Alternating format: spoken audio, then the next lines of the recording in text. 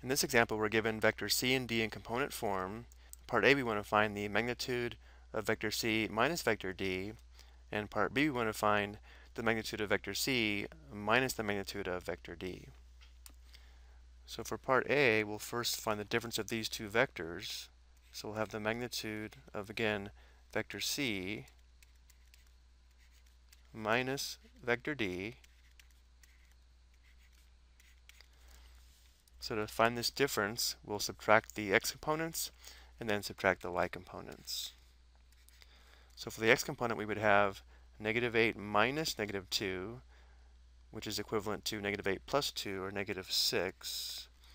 And the y component would be negative 4 minus 6, which would be negative 10.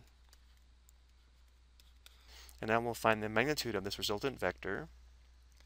So this would give us the square root of negative 6 squared plus negative 10 squared, which would be equal to the square root of negative 6 squared, which is 36, plus negative 10 squared, that's 100.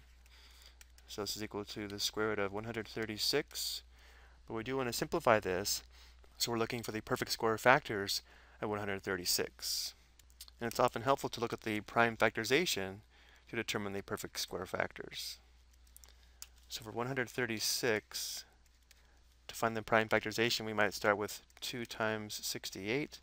68 is 2 times 34, and 34 is 2 times 17. So the prime factorization at 136 is 2 times 2 times 2 times 17. 2 squared is a perfect square factor, so this will simplify. The square root of 2 squared, or the square root of 4, is just 2. So this simplifies to 2 times square root of 34. So this is the magnitude of vector c minus vector d. And now for part b, we want to find the magnitude of vector c and then subtract the magnitude of vector d. So we'll have the magnitude of vector c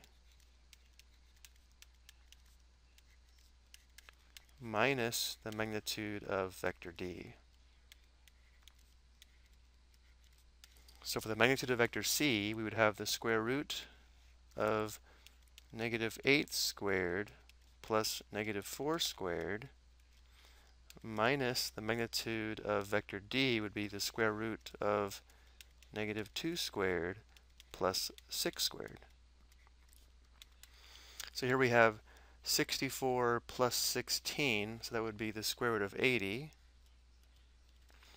minus the square root of 4 plus 36 would be 40, so we have minus the square root of 40. Now we want to simplify these.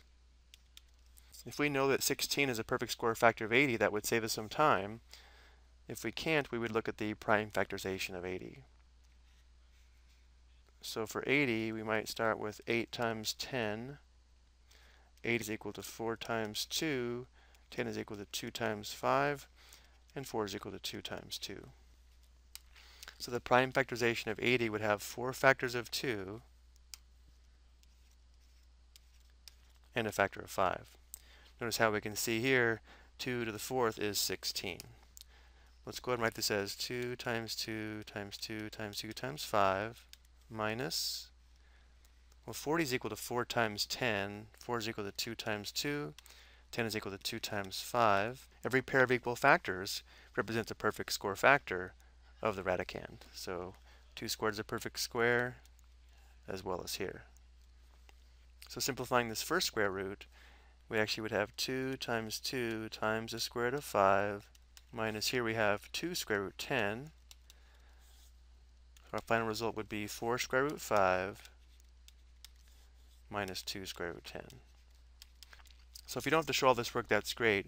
We could have written the square root of 80 as the square root of 16 times 5, and we could have written square root of 40 as the square root of 4 times 10. If we were able to determine the perfect square factors of the radicands, square root of 16 is 4, so it gives us 4 square root of 5. Square root of 4 is 2, giving us minus 2 square root 10.